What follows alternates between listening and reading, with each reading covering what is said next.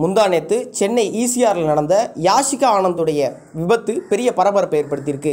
இந்த ஆக்சிடெண்ட்டில் யாஷிகா ஆனந்துடைய தோழி பாவனி உயிரிழந்திருக்காங்க அப்படிங்கிறதும் யாஷிகா ஆனந்த் பலத்த காயங்களோட அப்பல்லோ மருத்துவமனையில் சிகிச்சை பெற்று வர்றாங்க அப்படிங்கிறதும் நம்ம எல்லாருக்கும் தெரியும். போலீஸ் வழக்கு பதிவு செஞ்சு விசாரணை பண்ணுறது பொதுமக்கள் கருத்துன்னு நிறைய சர்ச்சைகள் போயிட்டுருக்கிற இந்த சமயத்தில் யாஷிகா ஆனந்தோடைய ஆக்சிடென்ட் ஃபுட்டேஜ்னு பல பொய்யான தகவல்கள் பரப்பப்பட்டு வருது. உண்மையிலே அன்னைக்கு யாஷிகா ஆனந்த் தான் காரை டிரைவ் பண்ணிட்டு வந்திருக்காங்க அப்படிங்கிறதும் அவங்களுடைய பக்கத்து இருக்கையில் தான் அவங்க தோழி பவானி இருந்திருக்காங்கங்கிறதும் ஹைவே ஃபுட்டேஜில் எடுக்கப்பட்ட சரியான உண்மையான புகைப்படங்கள் நமக்கு கிடச்சிருக்கு. அதை தான் நீங்கள் இப்போ பார்த்துக்கிட்டு இருக்கீங்க.